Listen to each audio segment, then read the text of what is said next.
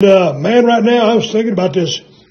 I'm not trying to turn my page into a cat channel, but you got to work with the talent you got. And I got a lot of talent here. So, Poncho, I got Poncho figured in as my world champion. And look at that. So, Poncho as my world champion, and little Macho, where are you, buddy? There you are. You see just attacked me. So I got I got a little Macho as my intercontinental. I have Macho as my intercontinental champion. Now you know that IC belt that was more of a worker's belt, as prestigious as it was. That it, that IC title was kind of a worker's belt. And anyway, we know how green Macho is.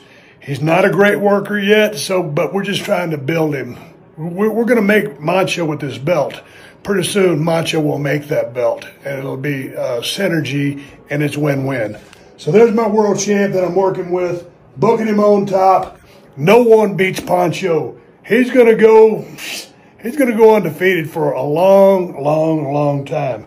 Little Macho, while he's learning the ropes, he might end up doing a favor here or there, but we just got to keep this little bastard alive. Poncho can't lose any more siblings uh, or, or friends out here and I tell you what, they're dropping like flies. So we got to keep Macho, our prestigious Intercontinental Champion, up and running. That's enough bullshit. I'm out.